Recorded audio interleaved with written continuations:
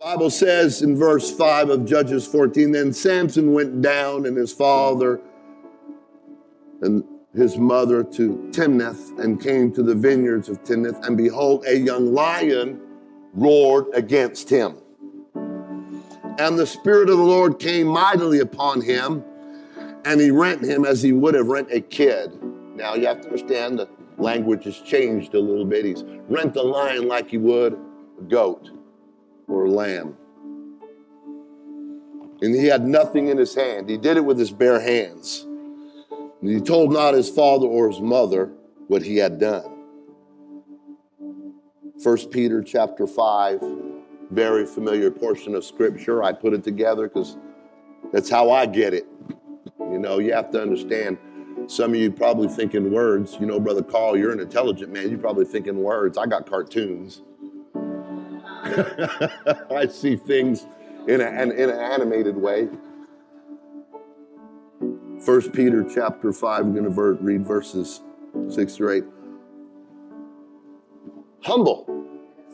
I'm going to say this. You'll hear me say this. This is just something that, especially when my pride gets the best of me, I, I'll whisper this to myself, or I'll say this to myself, or I'll point at myself in the mirror and say it. Humility is invincible. Oh, you'll learn that one in the long run. God will, God will resist the proud. Well, how come I can't do like he does? Well, humble yourself. How come I can't do what she does? Humble yourself. If, if it's about you getting glory, God's not God's just going to halt you. But if if you if you don't care who gets the credit, but make sure God gets the glory, there's no limit to what you can do. Listen, this this this is not a suggestion. Humble yourselves, therefore, under the mighty hand of God, that he may exalt you in due time. You may be due today. Casting all your care upon him, for he careth for you. Let me help you with something here. Do you really think you care about yourself more than God does? See, some of you, you will fill your life with so much stuff You'll fill your stomach with so much food. You'll do all these things that you think are so nourishing. Yet on the flip side, God sees the condition of your soul, and you could be lost and full and appear blessed at the same time. God is more concerned about your eternity than your feelings right now. Are you hearing what I'm saying? For he careth for you. And here's some advice be sober. Be vigilant. Mm. Because your adversary, the devil, and here it is again, as a roaring lion, walketh about seeking whom he may devour. Ain't nothing new. Satan ain't changed his tactics. He's not that smart. The reason he's successful is because we aren't either. I don't mean to hurt your feelings, but let's, how many of you have done the same thing, stupid thing to yourself more than once? The first time's a mistake. The second time's you label that how you want to. But if the shoe fits, come on, Cinderella, put it on. Let's lay down our Bibles. Let's talk. Let's talk to the one that loves us and cares. Let's lift up our hands. Let's talk to Jesus, right, Lord? We love you. We need you today, God. We know that you care for us. We think we care for us, and we fill our lives with distractions and, and things that end up destroying us. Help us to lay down every weight and the sin and, and focus on you, Lord Jesus. We want to give you praise. We want to give you honor, Lord. Allow this word to penetrate into the fertile soul of our souls, Lord God, that when a roaring lion comes our way, we can rent it like Samson did in Jesus' name. And everybody said, Amen. God bless you. Let's give the Lord a hand praise while we're seated. Amen. Praise God, praise God. I want to speak for just a few minutes if I can. And I can. So I want to talk about a miracle and a meal out of your mess. There's an interesting turn of events that followed Samson's altercation with the roaring lion. And I believe that it could help us today. In Judges 14, 12 through 14, it said, And Samson said unto them, he has an altercation with the Philistines and some young men there. And sadly, he's kind of bought into culture. Well, there's hope for some of us. And says, I will now put forth a riddle unto you, if you can certainly declare it me within the seven days of the feast and find it out, then I will give you 30 sheets and 30 change of garments. But if you cannot declare it me, then shall you give me 30 sheets and 30 change of garments. And they said unto him, Put forth thy riddle, that we may hear it. And he said unto them, and this is what I need you to listen to out of the eater came forth meat, and out of the strong came forth sweetness. And they could not in three days expound the riddle.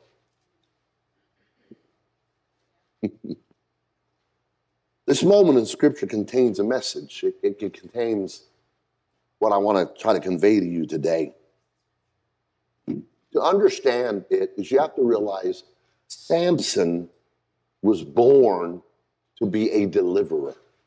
He was born and destined to be a warrior deliver, deliverer from the womb. It says in Judges 14 and 4, but his father and his mother knew not that it was of the Lord that he sought an occasion against the Philistine. Let me tell you something.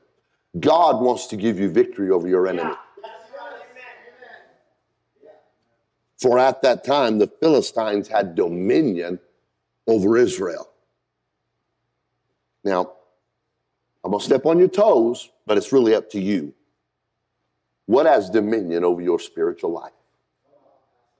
What stops you from being that, that warrior? What stops you from being that amazing Christian that, that walks in with words that are fitly spoken, with an anointing that reaches out and you lay hands on people and you pray for what, what's stopping? And I'm not, I'm not talking about sins. I'm talking about just things that, that roar in your life that get you distracted from what you're really called to do.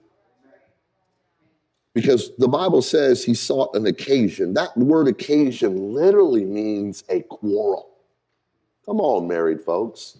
You know sometimes something gets under your skin and you you know you're going to walk in that house and you have every intention of dealing with something and a quarrel's going to ensue. There's going to be a conflict. There's going to be a fight. God wanted the Philistines defeated by Israel. So God raised up Samson that he might begin to deliver Israel. Are you with me? And so back at the ranch here, the situation with Samson, he puts forth a personal riddle. He took the time and he, he thought about it. He was, you know, very thoughtful about what had transpired. I don't know about you, but I think having a lion attack me and I rent him with my bare hands would be something I'd think about. Well, maybe I'm the only one here. Mm, I don't know. Maybe, maybe that would impress you, Jonathan. You know, you, you being able to come from a place like Africa, you probably did that for fun on weekends. I don't know. You know, but but but you know what? I, I'll be honest with you. I haven't always been the most stalwart individual. I've, I've been in the woods before, and I knew I, I was hunting in an area that had posted signs all over about mountain lion warnings, and I still hunted there. And I remember walking up this one ridge, and I got out in this absolutely beautiful meadow, and I just, man, mm-hmm. the deer are gonna come walking through here. And I started to sit up, get ready, and I bet I tell you what, the hair stood up on the back of my neck, and I knew there was something watching me. I had, oh boy, I had that, and I knew, and I looked, and I, I couldn't find it, but I was like, okay. And though I was armed to the teeth, I just kind of backed out of there. I didn't want to find out if I could win. I know y'all would have stuck around and said, Here, kitty, kitty, but Me, I, I, I'm sorry. I, mean, I was lacking a little Samson, I guess. I just kind of backed out of there. But anyway, Samson defeated the lion. And so he puts forth a revelatory riddle to the Philistines. And you have to understand it was at this moment Israel was being tormented.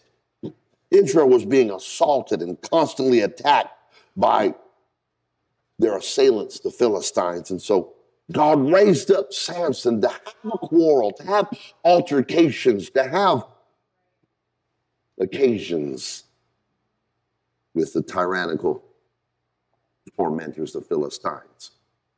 And he, so he gave this riddle of his own personal experience of an altercation that he had had with a lion. Are you here? You have to understand that with this altercation, the Bible lets us know he didn't tell his parents. The answer to the riddle wasn't revealed to the Philistines by talking to him. Why did I say that? Obviously, the lion didn't scratch him. Obviously, he didn't get bit. Obviously, he did not incur any damage. So instead of being dominated, he dominated. He was able to keep the incident or the victory private.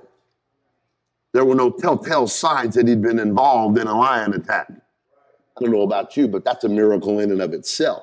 There were no scratches or bite marks or wounds that would have drawn anybody's attention. And so now Samson is dealing with the real adversary, the Philistines, and he puts forth this riddle and he said, Out of the eater came forth meat, and out of the strong came forth sweetness.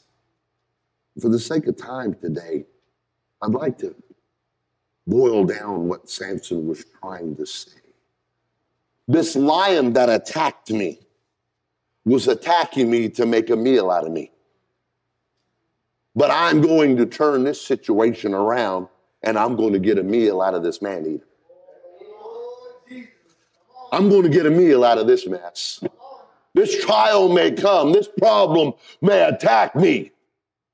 But I'm of the disposition, I'm of the anointing, and I'm of the calling that God called me for occasion against my enemies.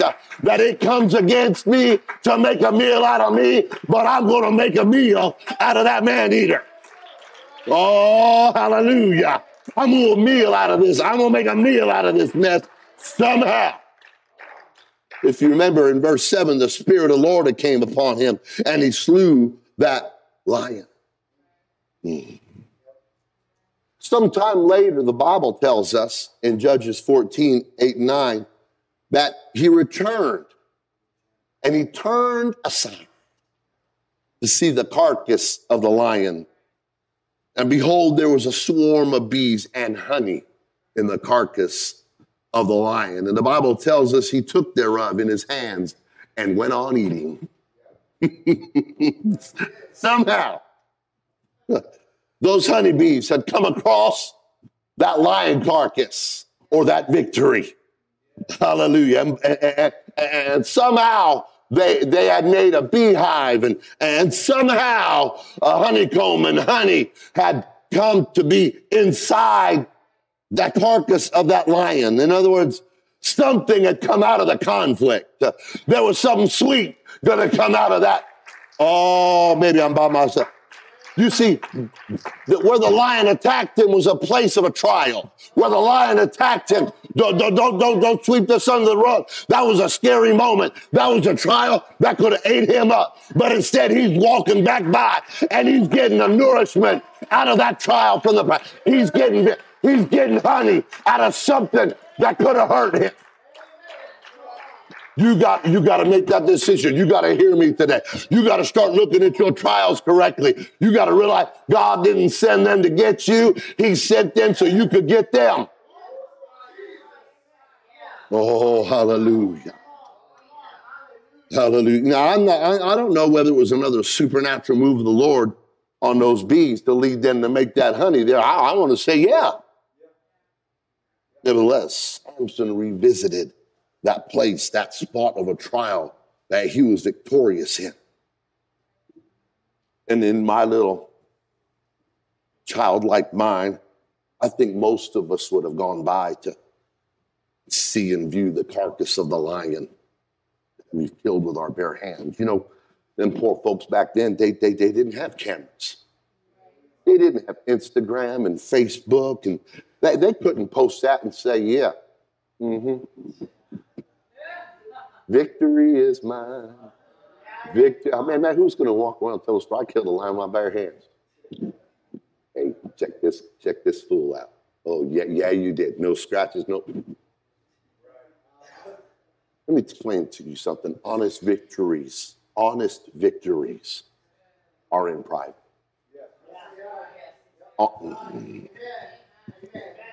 See, the, the greatest thing we can stop doing is quit trying to look victorious on the outside to people and literally become victorious on the inside. Mm. So he had to go by and look at it. All that aside, this incident with its roaring lion had influenced Samson so much that he took the time to create a riddle out of it. In fact, I'm sure that the situation speaks to us and reminds us that when you're walking in the will of God,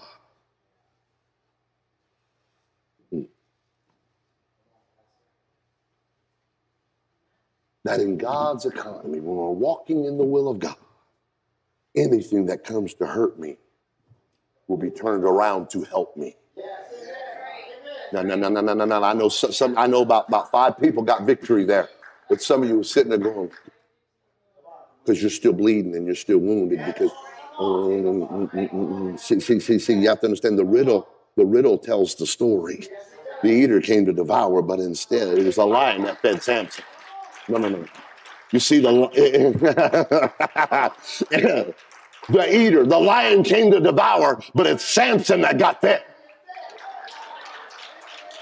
From a trial, from a place that should have hurt, he got sweetness. He got, you got to understand how to handle your trial. You got to learn how to spiritually handle things that come against you. It's time for some folks around here to grow up spiritually and realize the lion may come, but the lion is going to feed me. That trial is going to bless me. I'm going to get victory.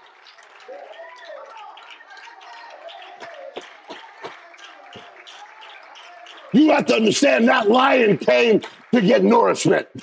That lion came to eat because he wanted to be stronger.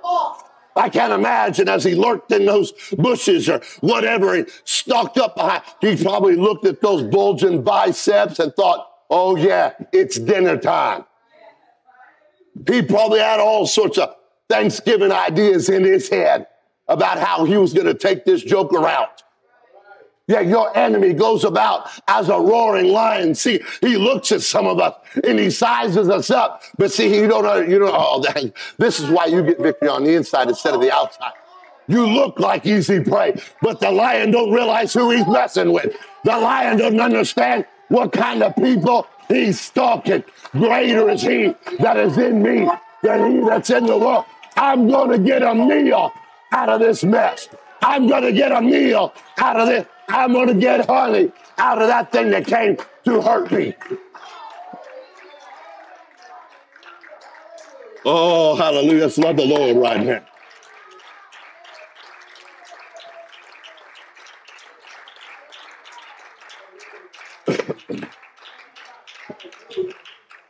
that lion came. He thought he showed up at Golden Corral. He thought he just built a hometown buffet right there Hallelujah. But instead, that roaring lion gave Samson strength and sweetness. That lion strengthened the one that he came to get strength from. Listen, church, there are no accidents. There are no mistakes in the Christian life. There are no cosmic crashes, and there's no blame it on Murphy moments. There's no oops in our oppositions. There's nothing that can affect, alter, or yank things out of the hands of God of the life of someone who's called and converted. The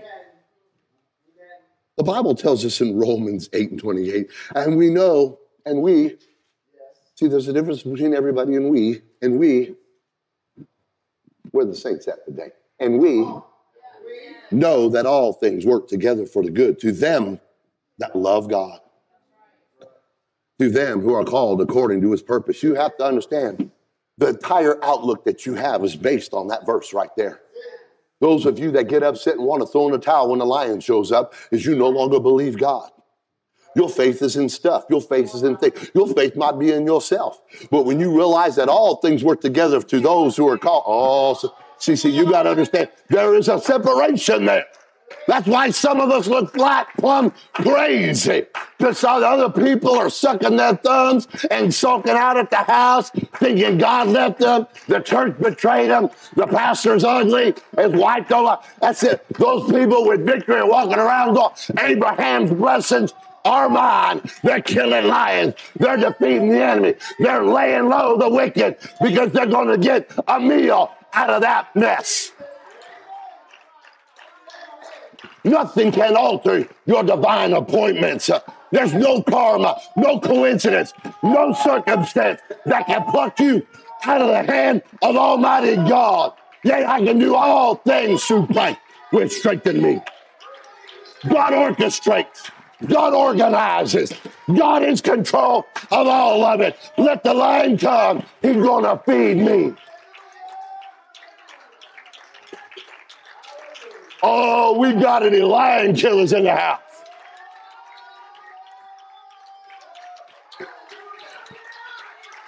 Throughout Scripture, from liars to lions, fiery furnaces and fake friends, God's people always overcome. That sweet psalmist David could testify to this. And he did after defending the flock against lions and bears. Lions and tigers and bears, oh my. And then showing up and stepping up to a divine appointment. Now, if we switch from David's story to how some of us act, I had to face a lion last week. God, you don't love me. I got a bear. That's it. I, you know what? I ain't paying my tithes. I'm not doing the job. I'll get there when I feel like it. Oh, what a giant now? I'm done. Oh, let's get rid. Now you know ain't no one jumping and shouting right now. Some of you, every one of those was sent to be a victory, but instead of knowing that greater is he is in me. You let the outside dictate to you what the inside was going to be. You throw in the towel. Don't, don't, don't feel bad. Don't feel, even Peter said, I go a fishing. You see, David teaches us. Samson shows us that stepping up the appointed time to face the lion, to face the giant all the ups and downs of David had to deal with a backslid king. And so much more. It's only right that David would make the statement I'm about to read to you. A statement that rose out of a shepherd boy who, who went from the sheepfold to the throne, would declare in Psalms 31 For I have heard the slander of many. They said some unkind things about me. Fear was on every side. While they took counsel together against me, they devised to take away my life. Oh no, you might have a lion showing up in your life. But I trusted in thee, oh Lord. I said, Thou art my God. My times are in your hand. Oh no, deliver me from the hand of my enemies and from them that persecute me. Can can you grab that kind of faith in God today? Can you step in and realize Job said, Though he slay me, yet will I trust him? Can you find that place? You have to say David was surrounded by faithless soldiers, scorning brothers, and a bitter king. But David remained surrendered and committed to God and the will of God, no matter what he faced. Oh, hallelujah. He stepped up and he stood out while everybody else was ducking and hiding in self preservation. David faced a giant with a slingshot and a stone because he realized, I'm going to get a meal out of this mess. I'm going to get some sweetness out of. Oh. David punctuated it. My times are in God's hands. If he wants me to go through this, then I'll be victorious. If he wants me to go, he knows the way that I take. He knows what's going. He knows what's coming. Why would I bail out on God?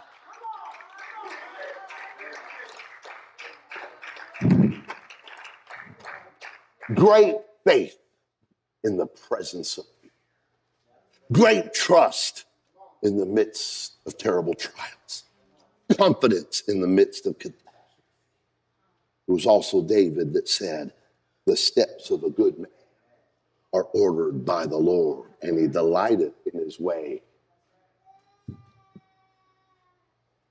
Your steps are ordered, but is God delighted in the way you handle them? Listen, folks, get this.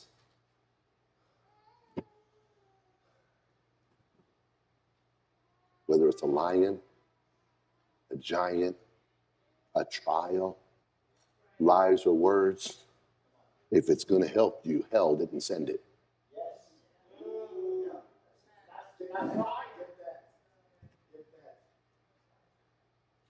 If it's going to help you, hell didn't send it. Oh. you know what? Can I get an amen? You have to understand the devil's not that smart. The devil's not going to send something to assist you. The devil won't send anything that's going to aid you. He's not going to send something to propel you into your destiny. I've said before, I'll say it again. Goliath was there for David.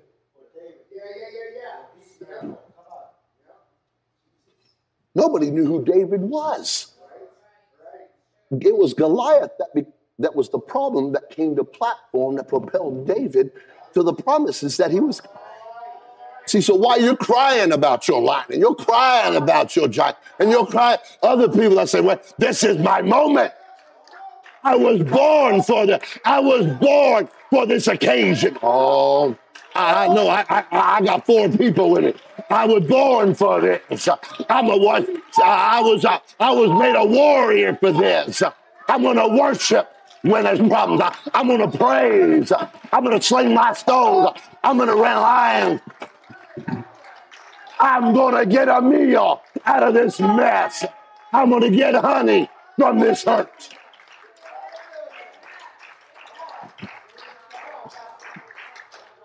It's how you handle these situations that define who you are. Look, if you want to step aside and let someone steal your crown and take your spot, because you're worried you might lose a couple of bucks or you might lose out on some meals, or no, then you go ahead. I'm sure God's going to raise up a David to replace a Saul. He'll find someone to do what you want. He's coming back for a church. You better hear what I'm saying. You better get in, and it's time to make a meal out of your mess. Let's be honest. The exact same situation that caused Saul to shrink was the same situation that caused David to stand out. Oh boy, that, come on, let's say that's painful. The same situation that causes you to shrink, somebody else is going to stand up. Is there not a cause? Oh, and you finally get to that place in your walk with God this morning to say, Is there not a call? In this dark world, you can point at the problems. You can talk about the issues. You're willing to say anything and everything about what the church needs to hear. But can you stand up in your own life and your own walk with God and say, Is there not a cause? As for me and my house, we're going to serve the Lord. We're going to believe in holiness.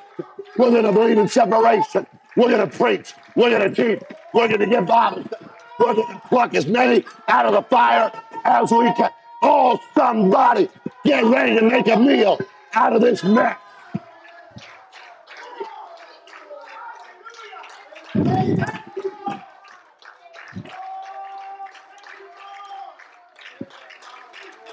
Hallelujah.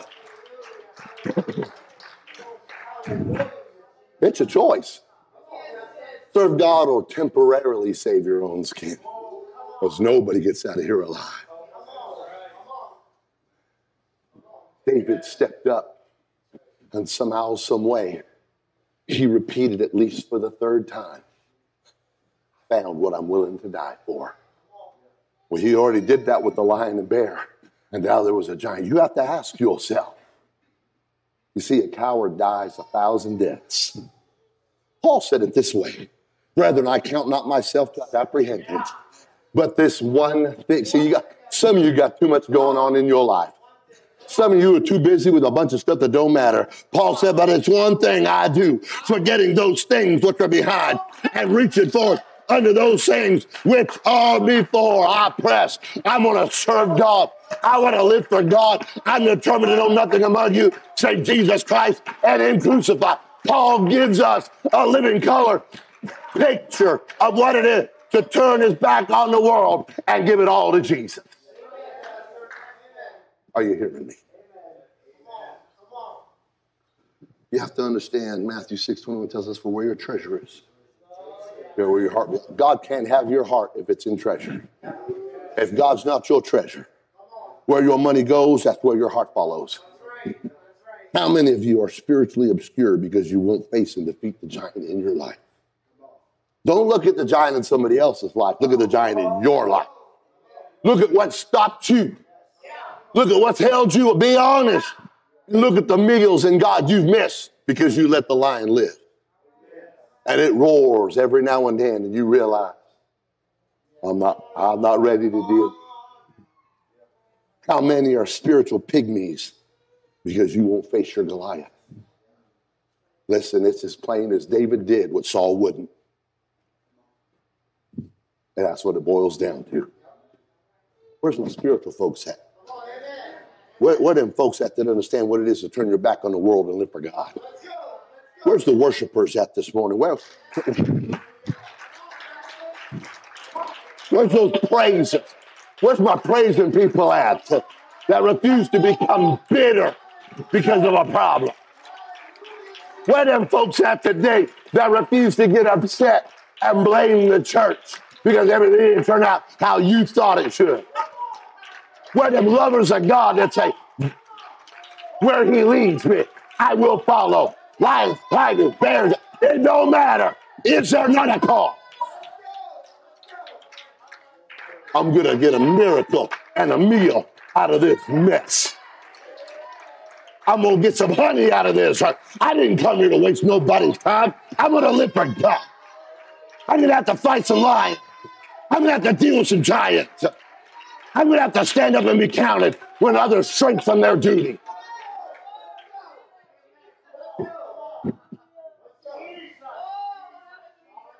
There are those folks that refuse to quit because of trials. Because you know God is going to use it for your good, and you'll get a meal out of that mess. You'll get sweetness out of that trial. How many know that a few things work for the good? How many know that most things work together for the good? Oh no, y- y'all, y'all ain't great, but that's how you're living. But where are my people that are all things? You see, when you get in God's purpose, even your problems will propel you into your promises.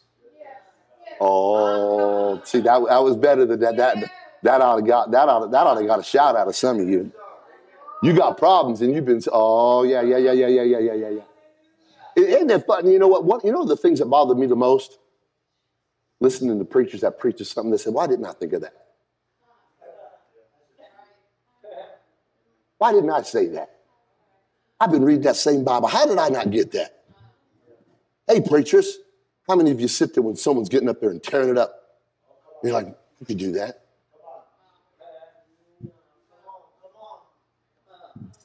Not until you kill them giants.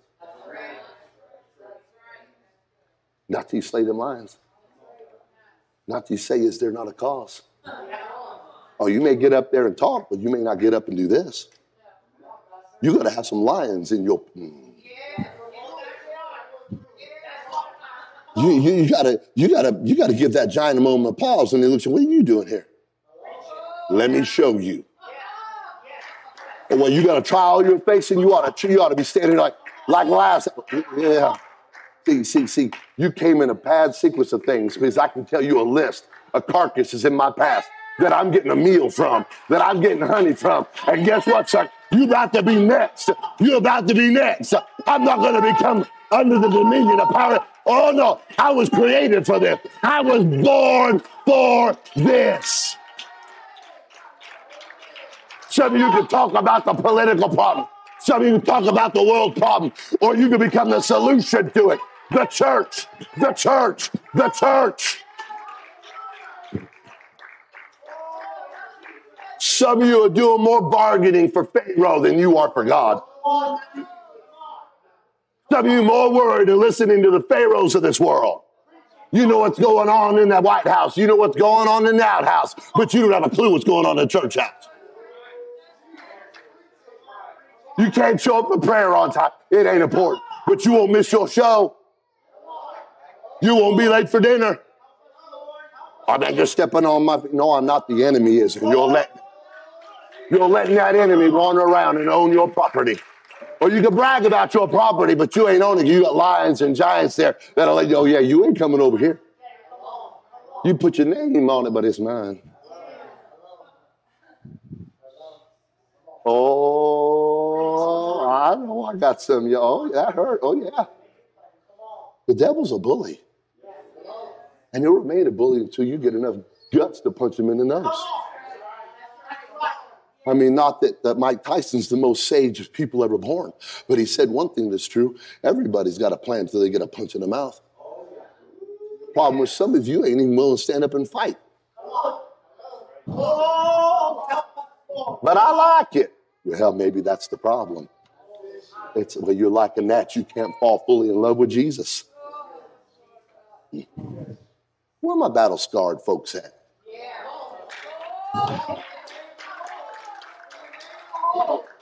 The enemy, the enemy respects that worship. Oh, wait a minute. Uh, you got to, they done been down. Oh, they got the scars to prove. I, I done attacked them and they're still standing. They're still worshiping. They're still, they still come to church excited. They still read their Bible for a word from God. They're still praising and giving God glory because they still believe that He's worthy. They haven't been defeated and silenced by the triumph and the trouble of this life.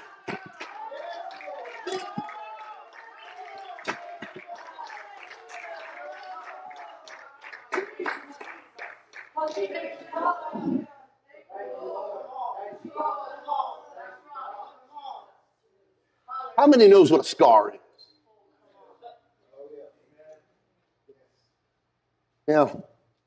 Guys are a little goofy. We compare scars. Now, we're not going to like disrobe and do that right now. But I'll be honest with you, unless you've had major surgery, I got you all beat. Well, maybe not you. I ain't had 50 lives. You know what a scar is? A scar is proof of healing. Scars are the silent yet visible manifestation of proof that you survived. In other words, what hurt you, what cut you, didn't win. You see, the issue with some folks in the church, you know, the ones who are stuck spiritually in the same place for years, they ain't got nothing new to say. They keep regurgitating the same thing over and over, the same stories, nothing new. They're like Saul, they're stuck in the tent. They hold the position, but not the title. They're content to do nothing about the giant. We can coexist. That's all right, Nehemiah. I'm going to feed you in a minute here. I'd be crying like that too if I was hungry. In fact, I will later.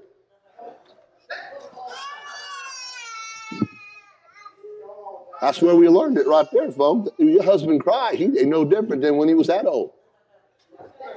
Feed me, mama. You see, the problem is when we get content to do nothing about the giant that's standing on what should be your territory. And you get comfortable with the giant that you won't face. See, and you settle for, oh, that's my property, even though I can't possess it. And you get comfortable with the emotional wounds in life.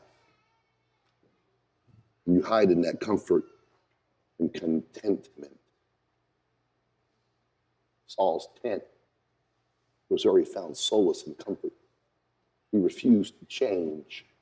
He refused to address the issue. Now, I've done preached about that. I'm not going to take this one any deeper than that. And like Saul, he was nursing some emotional wounds. But because he had the role, he was king and he had the armor, he wanted everybody to be impressed with what he once was.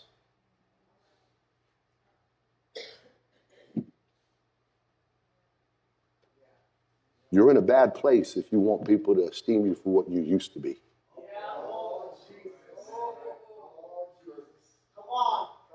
That, that stung a little bit, didn't it? Well, trust me, it stung me first. You see, some people worship their wounds. Oh God, if you knew the week that I had, if I tell you what I've been through, and we sit here and want to negotiate our pain pans, our wounds are the excuse of all your why you couldn't. They are why you didn't. But I want to talk to those other folks. Them other ones. Where are you at today? Where you're going to take those problems and propel you to your promise. I'm, I'm talking about those folks that, you know what? You coming against me lets me know I'm on the right track. The enemy ain't going to attack where he ain't got nothing to. You ought to get really scared spiritually if you ain't got no trials going on. You better get really alert when you start to realize ain't nothing attacking me. I got everything I need, man. I got I got years of, of stored up. I'm good. I'm in a good. I got no. Because a roaring lion goes about to get territory. He's hungry for someone that he wants to take over. Where are you at today? Where are you at? See, because God didn't send that roaring lion to eat you, He sent that roaring lion to feed you. He wants that giant to strengthen you because He wants you to get honey out of what came to hurt you. He wants you to stand up. We sang it in that song today. Oh boy, I, I, I, looked at Erica. You need to sing that again. You need to sing that by the word of their testimony, by the blood of them. You have to understand. A Testimony is about facing an adversary and getting victory.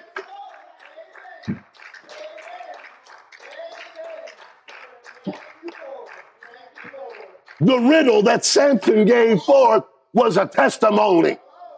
Oh, son.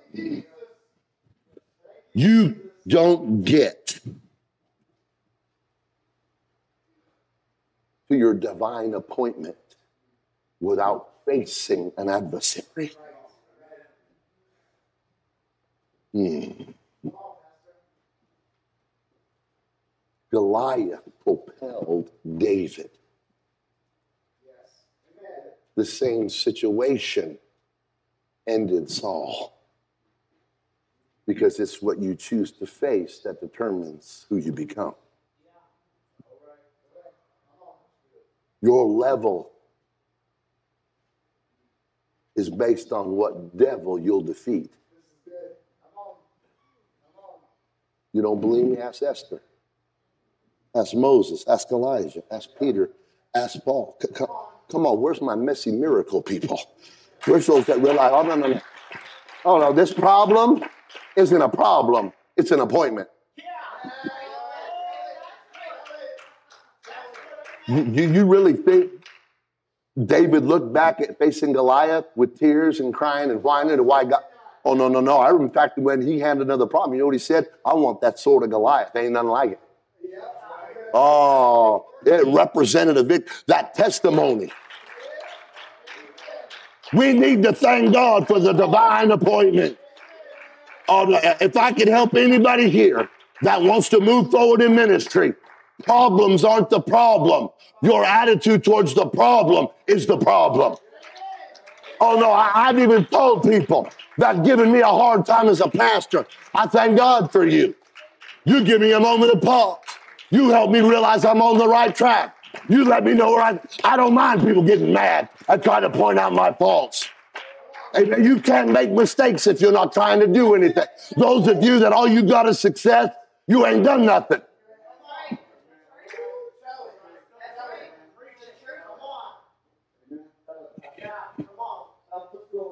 We need to thank God for those divine appointments.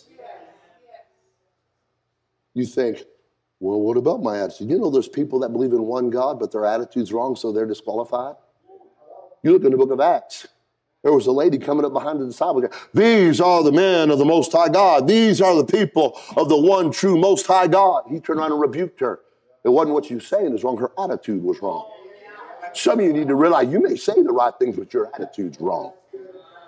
You may walk in here and say the right things, but your attitude towards the church, your attitude towards the people, your attitude towards the pastor, your attitude towards is wrong.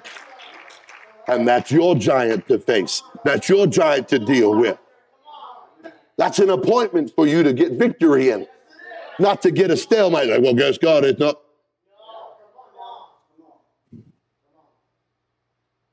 What you're going through is not about the problem. Oh, no. What you're going through is about your future. You, you, you see, if you don't beat the lion, you can't face the bear. And if you don't face the bear, you don't get to the giant. And if you don't face the giant, you don't get to the throne. And if you don't get to the throne, you don't get the promise. Oh, it's about where you're going. And they overcame him by the blood of the Lamb and by the word of their testimony. And they loved not their lives unto death. Victory and heaven go hand in hand. It's our direction.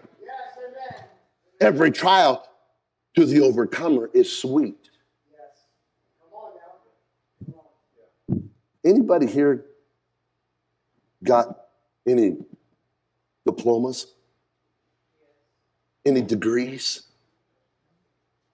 Oh, let me make. Who got their driver's license?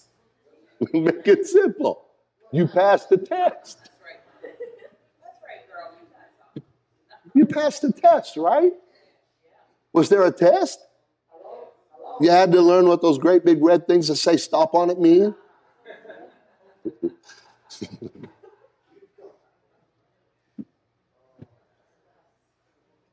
you see, every mess is a miracle for those that are trying to do something in God. That's how you testify. That's how you talk. It's not the denial of the problem, it's the admittance that that was my divine appointment. And I'm going to be improved through the test that I take. You see, people that want a testimony don't complain about the test. They don't make excuses, they make declarations. David made a declaration. Is there not a cause? What was he saying? He was saying it to the same thing that caused Saul to do jack off. You see, man, when that thing comes into your home that's affecting your children, it's up to you to stand up and say no. It ought to be the men that lead the way in holiness and humility in this it ought to be the men that lead the way and say, you know what, we're going to live pure. We want our men to look like men and our ladies to look like ladies because we refuse to fall in the same way with the world with all that confusion. Women aren't trying to do what men do because they were created to do so much different, so much more. They were called and built and anointed to do other things. Oh, can you imagine all those declarations that were made in the Bible. Is there not a cause? If I perish, I perish. Stand still and see the salvation of the Lord. God has not given us a spirit of fear, but power, love, and a sound mind. As for me and my house, we will serve the Lord. For the joy of the Lord is your strength. Uh, Paul said, if being confident of this very thing, that he which hath begun a great work in you will perform it. He's going to finish it. Hard times don't create chaos. It's during the hard times when the hero within us is revealed. Those of you that are being developed in ministry come to me with problems. What do I do? I don't just tell you the answer. I say, What do you think you should do? Why? I want you to get the victory. I can't kill your Goliath. I can't kill your lion. I can't kill your bear. If you kill it, that's your testimony. That was your decision to not shirk from duty and to step up for a divine appointment. Nelson Mandela said, Don't judge me by my success. Judge me by how many times I fell down and got back up again. Oh, somebody ought to say, Yeah, I'm going to face some lions and tigers and bears, but I'm going to get a meal out of this mess. I'm going to get a miracle out of this problem. I'm going to get some honey out of this hurt. Ryder Carroll said, no matter how bleak or menacing a situation may appear, it does not entirely own us. It can't take away my freedom to respond or my power to take action. That is your choice. What are you going to do when you face your lion? When you face your lion? When you face your giant? What are you going to do when it comes to round and say, are you going to live for God? Chris Bradford said, anyone can give up. It's the easiest thing in the world to do, but to hold it together when everyone expects you to fall apart. Our greatest glory is not in never falling, but in rising every time we Second Timothy, one of the greatest declarations in the Word of God. I fought a good fight. I have finished my course and I have kept the faith. I'm telling you, God has a purpose for your life. That trial's come to bless you, not stop you. That lions come to feed you, not feed on you. I'm telling God has a plan for your plan. God has a promise on the other side of these problems. God's going to use that pain to propel you to your purpose. You will never enter into your destiny as long as your adversary has dominion over you why he raised up a Samson. That's why he sent to David. That's why he had an Esther, a Peter, and a Paul. What, you think he's done doing that? He's looking in this church right now. Who's going to step up? Who's going to rise? Hey, such is common to man. We all got issues. But what separates us out is who's going to stand up and be counted and who's going to go find a place of contentment in a tent doing nothing. Let me, let me, let me, let me ruin the story of David and Goliath. God had every intention of Goliath losing. Goliath was sent to be defeated. The defeat of Goliath was a foregone conclusion. It was just a matter of who would stand up and face him.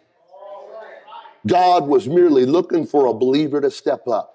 And sadly, the story really realizes all those soldiers, that king without all, all that armor and that great height and all the stuff that he had, and it was someone that really had a heart that said, Is there not a cause? Doesn't matter how big, how little, anything about. If you'll just take up the cause. If you'll just say, you know what, I'm going to get a miracle and a meal out of this mess. The world's going to hell in a handbasket, but not the church. Oh, is there not a? To, is there someone here willing to say, wait a minute, I got a riddle for you. I'm going to get a miracle. I'm going to get fed. I'm going to get honey out of this hurt. That's why God allows lions to roar. God allows lions to attack so we can overcome. You're defined by what you overcome. Sadly, some of us brag about those little things we overcame because we really don't want to face the bigger ones. We brag about what we stopped doing, but we don't really want to talk about the big thing we really love that we didn't stop. Now, I'm not trying to make fun. I'm not trying to poke, but I, I remember a, a, a, an evangelist one time. This is 100 years ago. It was a brand new conference. And I'll be honest with you, I didn't know caffeine was that big a deal.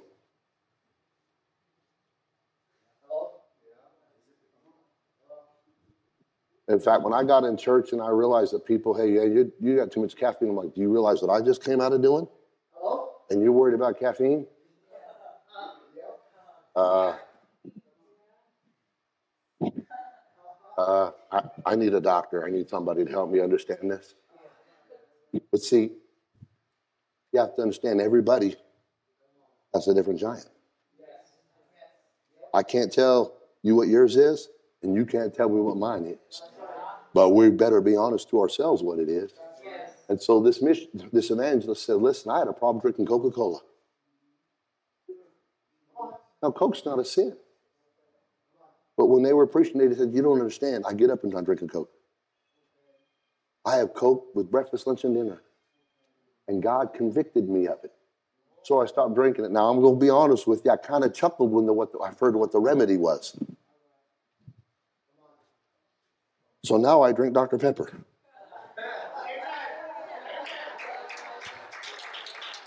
You didn't get victory over Jack All. Let me just help you with that. Because I can come in and get off those drugs, but if I get another drug, you're still addicted to something. You, you, you, you, you're messing with your own mind and you didn't get victory because it still got you as territory. Don't brag about that little thing you put in the corner. Let's talk about the giant that's facing you and I. We've got to overcome the dominion of the adversary that's actually stopping us from doing the will of God. Because you have to understand, Goliath was in the way of the will of God. Go, going and killing some little Philistine over in the corner ain't going to do it. You got to get the giant. All the other lions and bears out there that don't have a lamb in its mouth, you can go kill one of them while they're running, but you got to get. There's not one disaster. There's not one problem that can come into the child, a uh, child of God's life to destroy them unless they respond negatively to the situation. If Saul would have faced it, Saul would have been victorious because Goliath was doomed. Let me tell you this God's coming for a church. You got to get it out of your ideas in your mind what that church is going to look like. Some of you throw in the towel and quit it and never go all in because you have a different idea and say, my God, the biggest, the biggest thing about the church should be what you bring to the table, not what you think others should. Hey, critique me all you want. Critique someone else all you want. But the biggest problem you have is staring you in the mirror and you get victory over your giant. There's no situation, there's no problem there's no pestilence. There's no pandemic that can separate you from the love of God. But you got to be willing to stand up and face the, the real giant you face it, whatever it is that consumes your time, consumes your energy, gets your thoughts, gets your finances, gets your heart, becomes your treasure. That's the giant that needs to go. Romans tells us, Paul saying, Nay, in all these things we are more than conquerors through him that loved us. For I am persuaded neither death, nor life, nor angels, nor principalities, nor powers, nor things present, nor things to come, nor height, nor depth, nor any other creature shall be able to separate us from the love of God, which is in Christ Jesus our Lord.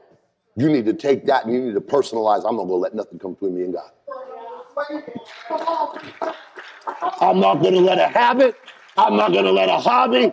I'm not going to let an addiction. I'm not going to let nothing. Oh, if God ain't biggest and first and I can't prove it, then bless God. It's time for some things to change. Is there not a call? I'm going to get a meal out of this mess. Nothing has the power to defeat you unless you let it steal your faith, rob you of your faith, destroy your faith. John 5 and 4 For whatsoever is born of God overcometh the world. And this is the victory that overcometh the world, even our. If you got the faith to give it up, you got the faith for victory. Every trial, every battle, every problem, every mess is a faith fight, a faith fight. Because faith is the victory. When that rich young ruler came to him and was bragging all the wonderful things he did, he killed all the little things. But that wasn't his giant. What's your real giant? Mm. He walked away sorrowful because he wasn't going to face that giant. God allows things in your life that seem like they're hurting us. But the truth is, is God sent it to save us. That's why the psalmist said, Before I was afflicted, I went astray. But now I have kept thy word. Those afflictions bring you in alignment with the word of God. Listen, that dentist gives you a shot and digs around in your mouth, not because he hates you. Took me a while to get this one. This one's a toughie for me. You have to understand, and I told him flat out, I told him twice now. Coming in there with that big needle, I said, I'll be honest with you, you get this done and get it done right the first time. Well, I'd rather get in the ring with Mike Tyson than do this. And I ain't kidding. I got a shot against Mike, but this guy's gonna got a needle that long, want to stick it through my head, go all the way out my back. Oh, come on, man. Y'all, y'all don't know. Everybody's got their. I don't like Dennis. I don't like him. He's not doing all that because he hates you. He wants to help you. You got to learn to use your will over your emotions. I hate dentists. Don't go to the dentist because it feels good. In fact, I'm paying this joker. You don't, maybe, maybe you can't grasp the gravity of the dentist situation. I got a dentist appointment coming up in case you don't know. I don't pay him because he hurts me. I pay this guy hundreds of dollars to drill a hole in my head. And if I went by my feelings, I'd never show up and I'd never give him a dime. But I also be gumming my food right now. See, many times people let their feelings cause them to abandon the will of God. They call they get their feelings cause them to quit a job they should keep. They let their feelings cause them to walk out on a marriage or even leave a church and walk away from God. Listen, there are some things you got to stay with regardless of your feelings. Oh my God, I know I'm in your driveway right now. Because in the end, even with all the pain, even with all the mess, and all the problems, it's going to bless you and it's going to help you, and you'll get a meal out of that mess if you'll stick with it. Because, like Samson, somehow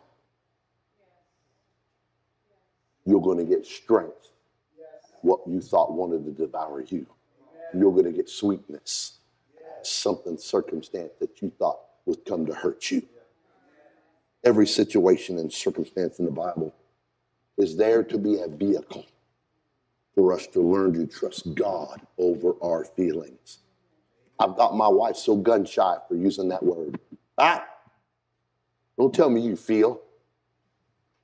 No. Feelings will, will get you messed up. Truth makes you free. Yes, that's right. All my feelings, this, my feeling, oh, you've offended me. You've the whole world is about what offends. You, you, you can't do nothing today without. And so pretty soon, we're all just going to have to become blank pages of non existence because you're going to offend somebody. You walk around here offended, you ain't no way you're going to face a giant. And that's where the devil wants you. You need to face that giant so that when you look back over your life, you can praise God for what He's done. And you can worship God for those divine appointments that He set up. Yes, I got a lion, giant in my past, and we can applaud the God of heaven for the works that He's done in our lives. Mm. Listen, it's time some of us get it in our vocabulary. Trial, I'm going to get a meal out of you. Trouble, I'm fixing to get a blessing from you. Let me warn you, problem, you're going to propel me. Oh, come on, somebody. Being confident of this very thing, that he which hath begun a good work, or he going to finish that work. R- remember all the pain and problems Joseph went through? Remember all that? He said, and he spoke to those that were some of the biggest givers of his problems. But as for you, you thought evil against him. Let me help you grab. There are some people that may bring evil against you, and you may try, I got it right. Where'd you get that right from? Ameri- America? See, some of you are Ameristolic and not apostolic. You're partial Christians. I know I'm talking about because I struggle with that. I do. I don't want to lose my American rights. But see, the problem with that is I realize now that I'm propagating Pharaoh and not Christianity when I do that. Oh, I get it. You, you're right in what you're saying. But are you right in what you're fighting for? Mm. Are you hearing me? The enemy doesn't need to just flat defeat you if he can distract you. And trust me, he'll go anyway and use any means to do that. But he said, And as for you, you thought evil against me, but God meant it unto good. God allowed people to purposely hurt him to get him where God needed him. Oh, I'm going to get a meal out of this mess. Oh, oh, oh, okay. For those of you that get it, I'm going to get a meal. My feelings ain't going to stop me from feeding on this meal. My feelings aren't going to stop me from getting honey out of this hurt. My, my feelings ain't going to stop me from getting victory out of this fight. Oh, what came to hurt me is going to feed me. What came to harm me is going to help me. What came to destroy me is going to propel me to my, I ain't got time to get hurt. Ah, God, places to go and victories to achieve. Out of the eater came forth meat, and out of the strong came forth sweetness. That roaring lion may have come to consume you, but instead it's going to catapult me into my destiny. Be sober, saint.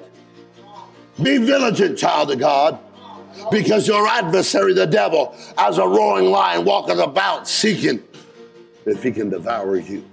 So remain steadfast in faith, knowing that the same afflictions are accomplished in your brethren that are in the world. You see the purpose of that roaring lion, that trial. Don't go cry to somebody about it. Oh, yes, it's coming to eat you up. See, you got to learn how to deal with the eaters of life. Some things in life will try to eat you up. You have to understand when Israel was taken captive by Egypt, they were swallowed up. They were taken captive and swallowed up, put in bondage, and made slaves. And all the years of chaos, and all the years of slavery, and the bondage, and the hard trials, and the testing was God's divine incubator to birth a nation. What you're going through is an incubator to birth an overcomer. You see, they went down into Egypt, a bunch of disconnected vagabonds and misguided misfits. 70 went in, but millions came out. Oh. Sometimes God has got to put you through an incubation process so that you learn to celebrate and worship God in your trial. So you don't get content to sit over there in failure in a tent, but so you'll stand up and say, Is there not a cause? Let me tell you who the worshipers are. They're the ones who've been through some stuff and kept going. They're the ones who faced lions and kept fighting. They're the ones who dealt with bears and kept coming. They're the ones who slayed giants and kept on going.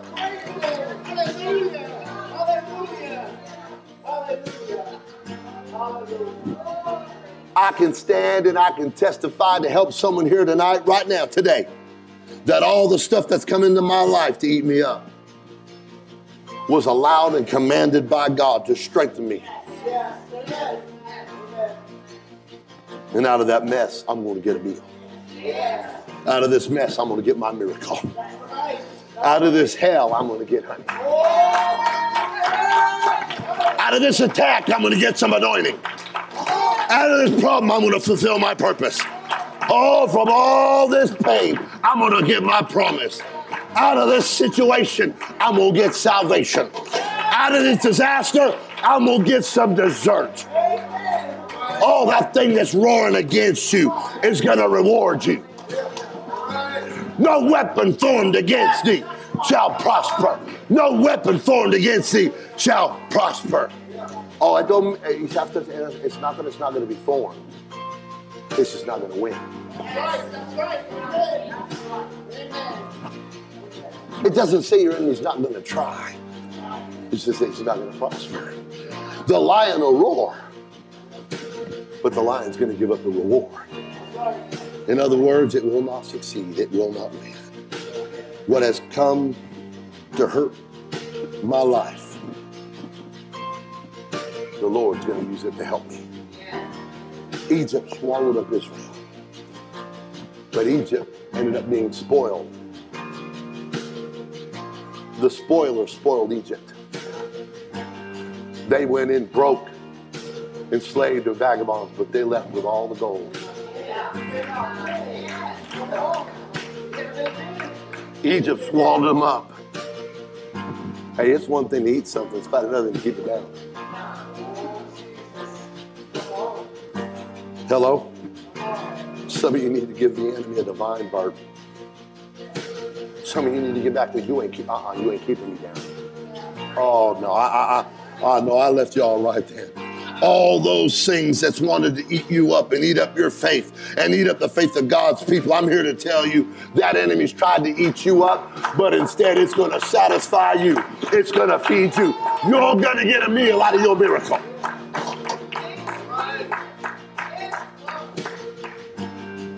See, we learned from Israel and Egypt that everything you lose on the journey, God's going to give it back to you. Why? Because Israel had a destiny. Why did the lion roar against Samson and nobody else? Because Samson had a destiny. Samson had a purpose. You want to know why the lion's roaring against you right now? Oh, some of you, you're going through some stuff. Because you have a destiny and a destination. I'm going to say this and it's going to come counter to your ears when you hear it, but sometimes trouble is the best friend you can have. There's necessity in an adversary. Because some of us have been like King David. When the time to go to war, you've laid back, taken thine ease, and your life has been just overcome with all the trivial things of life. That you you don't matter when you show up to the house of God. It doesn't matter if you're prayed up or on fire. We'll have church without you. It don't matter if you show up for prayer for the first three nights of a month. We'll have church without you. I'm not trying to offend you. Do you really want your house to not need you? Do you really want God's house to not need you? Because it's looking for lion slayers, bear killers, and giants. Oh, see, we, we, it don't matter what you used to do. Okay, we'll write it in the history books. But we want to know what you're going to do right now. What you're going to do right now. What do you matter right now? Remember, the greatest song, the greatest message of the teapot, it sings its best when it's neck deep in hot water. Hear me today, saint of God. What came to hurt you is going to help you. What came to eat you is going to feed you. Oh, remember the fiery furnace? it, it, was meant to devour the, he, the three Hebrews. Instead, it set them free.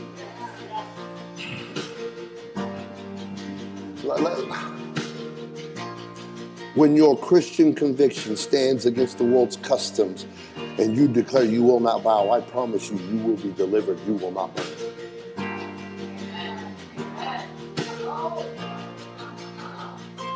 Daniel's lion's den. There are some situations you're not scared. Some of you think, God will keep me out of this. Can you imagine if David said, I really want to deal with the Goliath situation. Let's just bypass that one. Nobody ever would have knew who he was. Some of you keep trying to climb to the top of the mountain. You miss what God wants to develop in the valley.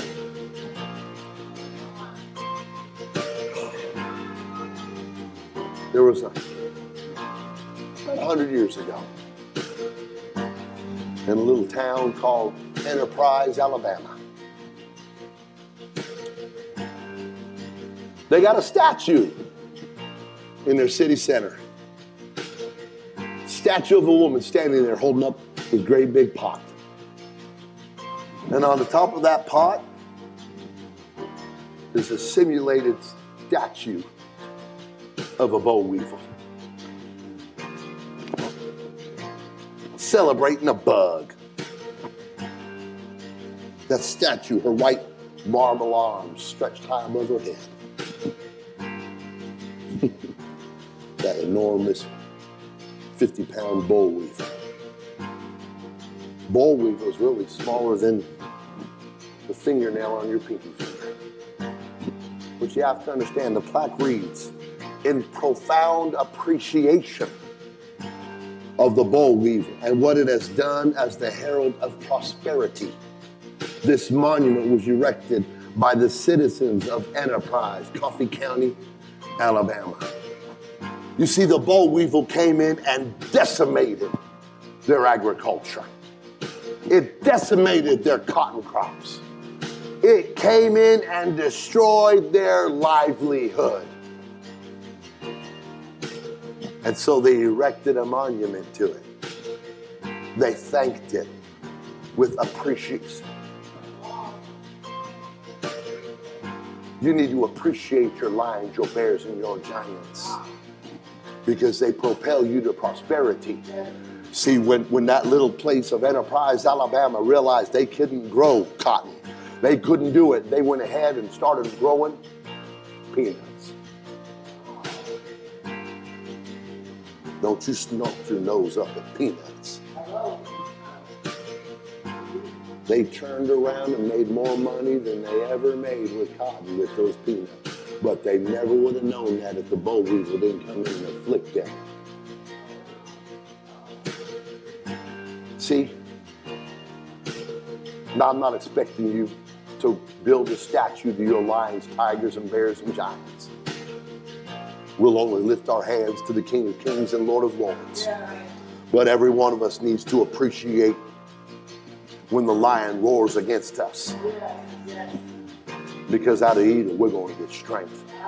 And out of the hurt, we're going to get some honey. And we're going to realize adversity is not abandonment. God is still with me. He brought it to me to propel me. And like David, we're going to slay that giant. Oh, we're going to be able to lift our hands up and we're going to pray. Oh, I thank God that that adversity came my way to show me the way, to show me the direction that I needed to go. Every one of us ought to thank God right now for the adversity that became the blessing that opened my eyes to the will of God in my life. Until I was afflicted, I went astray. Remember Job's trial, and I'm going to close with this. Let's gather around the front. You see, the enemy we know roared against him.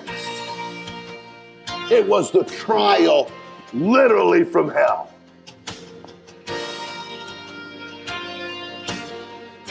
That hell came to hurt, but it handed him honey. Anybody know how long that trial was? Two years. Boy, I'll tell you what, if you knew what he had before, and you realize that all got taken away in a two year span, what the Bible says he got, and it says, And the Lord turned the captivity of Job when he prayed for his friends, and almost as a footnote, like it was nothing to God. And, and also, the Lord gave Job twice as much as he had before. Oh, devil, you mess with the wrong people. Oh, lion, you roared against the law, wrong saint of God. Going to get honey out of this hurt. Oh, I'm going to get victory out of this fight. Oh, I'm just getting started, Jack. You done messed. You done messed with the wrong person.